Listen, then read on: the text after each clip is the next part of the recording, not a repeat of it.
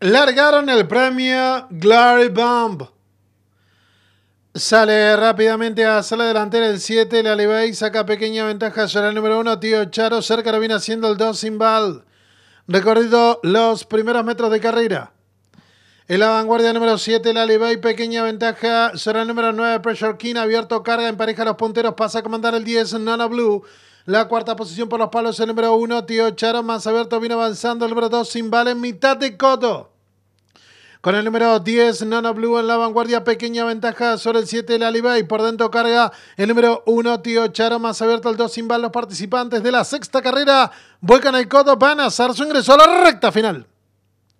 Lo están haciendo en estos instantes con el puntero 7, la y por dentro se filtraba resueltamente en busca de la vanguardia. El 3 didáctico que lo viene emparejando por dentro y pasa a comandar abierto, lo viene haciendo el 10 Nano Blue desde el fondo, lo viene haciendo el 8. Suspira encantador, descuentan ya los últimos 120 metros de carrera y se escapó en la vanguardia el 3. Va tirando 1, 2, 3, 4, varios cuerpos de ventaja, pocos metros para el disco. Si por el 3 didáctico con apreciable ventaja sobre el 7, el Alibay y solo el disco.